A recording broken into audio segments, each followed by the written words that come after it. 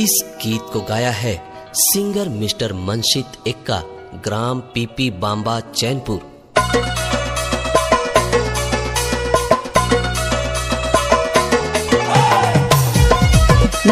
स्वागत है bus stand road.